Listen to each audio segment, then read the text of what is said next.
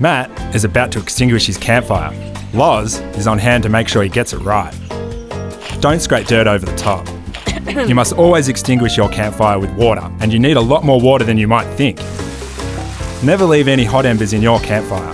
The embers remain hot for a long time and could easily start a bushfire. Don't let your campfire become a bushfire this summer.